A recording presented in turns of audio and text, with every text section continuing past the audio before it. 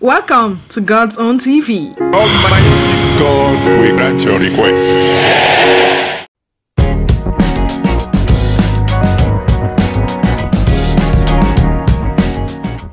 Gospel filmmaker Damilola Mike Bamiloye has once again made singles to ask God when, as a a sweet note to his wife Emmanuella on her birthday. Taking to his social media page, Damilola walked down the memory lane, remembering the first time he set his eyes on Emanuela. According to the father of two, he saw his wife for the first time six years ago when she joined a drama lecture at the Mount Zion Institute of Drama.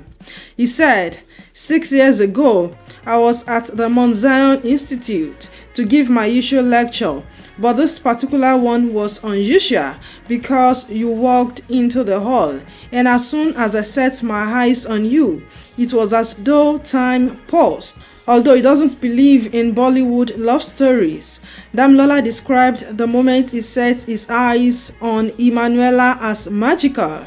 In his words, he said, I don't believe in Bollywood love tales, but in my mind, an unusual wind was blowing your hair as you walked in gallantly and confidently take your seat.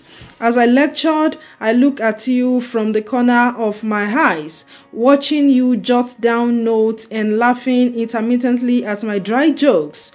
Oh, it was the best lecture I have ever given and I will ever give. And the reason is because I did not only lecture you in the class, I lectured you into marriage and it was the best decision of my life. He went on to wish Emmanuella a happy birthday on behalf of himself and his two kids.